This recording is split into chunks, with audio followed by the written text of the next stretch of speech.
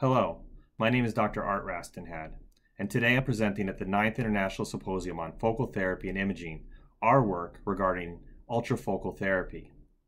Our trial is titled MR Ultrasound Fusion Imaging and Nanoparticle Directed Focal Therapy for Ablation of Prostate Tissue. Before we begin, we do have some disclosures. The primary sponsor of the study was Nanospectra Biosciences. Research equipment was supplied by Invivo, a Philips healthcare company. Currently, I have no financial disclosures.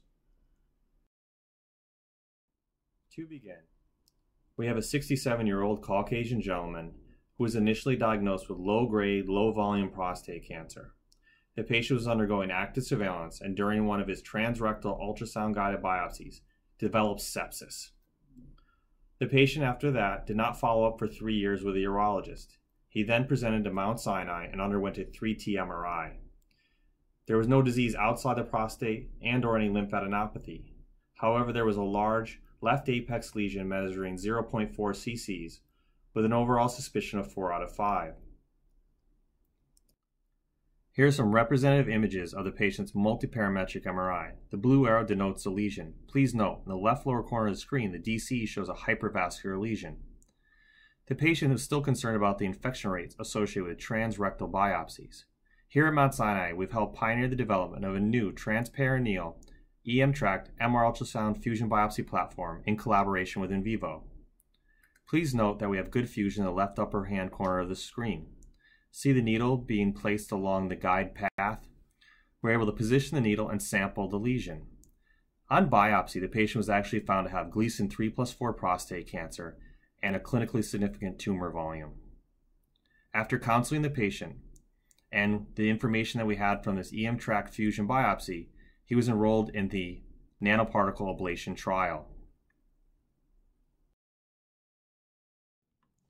The mechanism of nanoparticle directed photothermal ablation is different than our standard laser ablation, where optical energy is created and generates heat and forms an ablation zone. The gold auroshells absorb heat for tumor specific ablation. Well, how is this accomplished? It's accomplished by the wavelength has been optimized for exogenous absorption. See the chart in the left lower hand part of the screen? The orange is at 810 nanometers, where the AuroShells absorb more energy than water and hemoglobin, which are the blue and red lines at the bottom of the graph. The normal power created from the laser is subablative, so it does not ablate tissue unless there's particles deposited within it.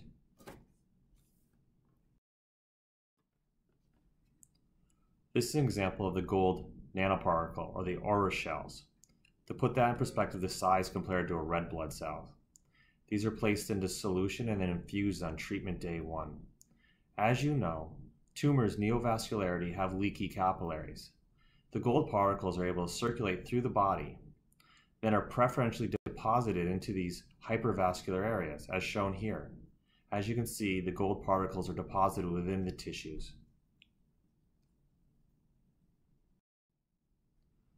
On treatment day two, we're able to set up the case, use the same information we used during the transperineal fusion biopsy. We're able to outline where the tumor is and then determine our best approach for treatment. As seen here in the lower right corner, I've outlined the urethra as well as the treatment area. I have placed a significant margin and our total ablation zone is approximately 1 cc. The lesion is approached in a transperineal fashion using a combination of ultrasound and MR ultrasound fusion technology. In the right lower quadrant, the yellow arrow shows the intended ablation zone. We've created a margin around the lesion. In the upper left-hand corner, you will see a needle being placed under ultrasound and fusion guidance through the lesion. These needles have an outer catheter which allows us to place the laser fiber for ablations. We record the area in the 3D space to allow us to go back for a post-ablation analysis to determine ablation zones with correlation with energy applied.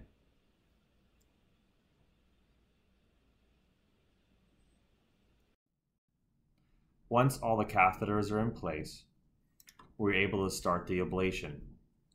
As you know, it's very difficult to observe heat changes on ultrasound. We do use thermocouples, which were also placed, one between the lesion and the urethra, and the one at the level of Denonvilliers' fascia. Each laser ablation takes approximately 3 minutes and ablates 1.2 centimeters of tissue and an 8 millimeter diameter. This was repeated multiple times to allow for an adequate ablation zone. Post ablation, we're able to review our technique. On the left side of the screen is the 3D model with overlaid with the transperineal grid. I've marked the areas where the thermocouples were placed as well as the laser catheter placement during the procedure. On the right is the 3D model representation created by the fusion device. This shows the relationship of the prostate, the urethra, to the lesion. As you can see here, the laser catheter is recorded in their exact 3D orientation. So after the procedure, we're able to assess our ablation zones. On treatment day four, post-ablation MRI was obtained. The pretreatment MRI is on the top row, the yellow circles outline the region of interest or the lesion that we appreciated to make the diagnosis. 40 hours post ablation, on the T2 image, you have significant amounts of edema. We have non-specific changes with regards to the ADC map. And as we know, dynamic contrast enhanced MRI is the best way to assess post-treatment success using ablation technologies with regards to prostate cancer.